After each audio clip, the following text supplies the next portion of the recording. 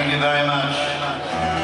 This next song was written over 30 years ago, written about the troubles in Northern Ireland.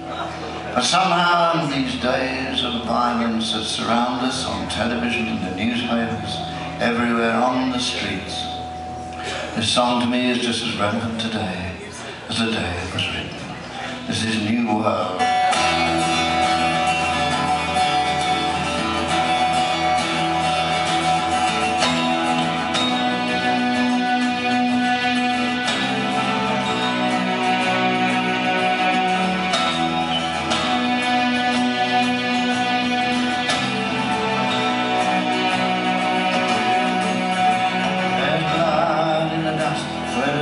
City's heart beats.